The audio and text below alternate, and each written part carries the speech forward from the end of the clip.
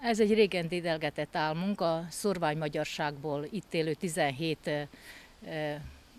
egyetemi hallgató biztonságát jelenti, ugyanis az évek során több rendbeli betörés történt, ami hát megkeserítette a kollégium életét, és nem kis anyagi kárral járt.